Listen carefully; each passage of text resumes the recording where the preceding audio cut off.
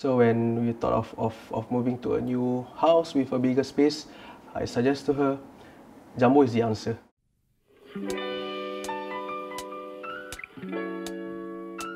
Hi, I'm Muhammad Noor, and this is my wife. Hi, I'm Alila. And we've been married for about eight years, and we have three wonderful kids. And this is our beautiful home.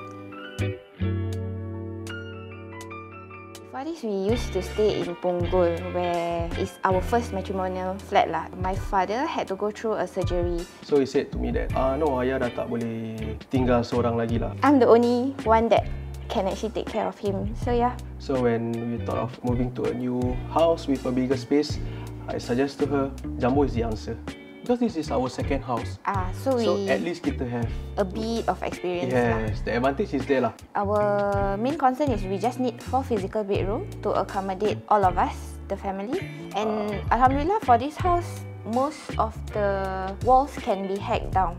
So that's why we are not limited to different section of the house. So we managed to have a bigger hall, four rooms and spacious kitchen lah. Favorite part of our house? Actually, there's quite a lot.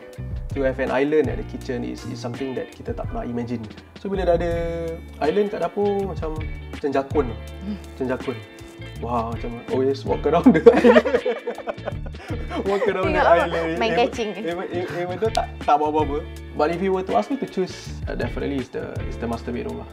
Like The it's, it's bedroom. where we can just rejuvenate after finish our work. We don't have any TV there also in the master bedroom. So it's purely for us to have our rest and sleep. Kita ada uh, a walk-in wardrobe. Even kalau rumah sekarang to have it, I mean you have to hack one of the rooms to make it into a to a walk-in wardrobe. I don't wear makeup to work and stuff like that. But then we always fight for the space. So with the mirror, we can actually really have our own space and we won't gaduh for nak siap, siapa nak siap dulu. Yes. I also like the kids room lah because I can design it the way I want it when I was a kid. For my daughter, for her bedroom, she want a princess uh, kind of She wanted a carriage. ah carriage, bed. Carriage bed. Carriage bed. There's no carriage, but Ah. there's still a Like a bit a bit princessy okay lah. princess We also teach our kids what being taught to us by our parents. Uh, family. Family is the most important thing. Family first lah.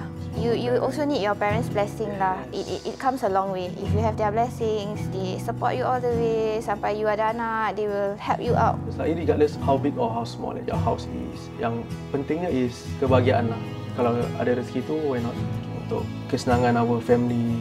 Why not? Why not? Why not? For just for our family, for our kids. Kita kita merancang Tuhan yang menentukan lah.